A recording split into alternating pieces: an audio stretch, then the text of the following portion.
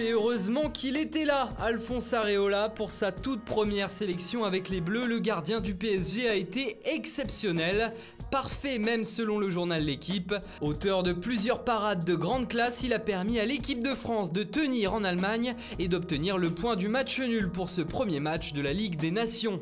Du côté des Allemands, on voit forcément les choses autrement. Nous sommes toujours en vie, titre le quotidien Bild. Il faut dire qu'après le fiasco de la Mannschaft lors du mondial, éliminé dès le premier tour, obtenir un 0-0 face aux champions du monde en titre, même à domicile, peut être considéré comme un beau résultat. En Angleterre, c'est Paul Pogba qui fait la une. Après la rencontre, le Français a déclaré « Je suis à Manchester United maintenant, mais dans quelques mois, qui sait ?»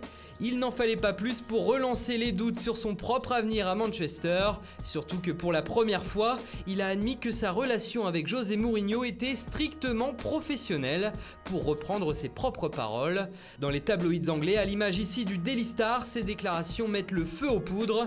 Je pourrais partir, titre et traduit grosso modo le journal anglais. Et si le mercato d'été est bel et bien terminé, celui d'hiver a déjà commencé, à tel point que le dossier Pogba fait parler jusqu'en Espagne aujourd'hui. Le quotidien catalan Sport l'affirme, Pogba flirte avec le Barça. Rien de nouveau jusqu'alors, mais encore une fois, ce sont les déclarations du champion du monde qui relancent la machine des rumeurs.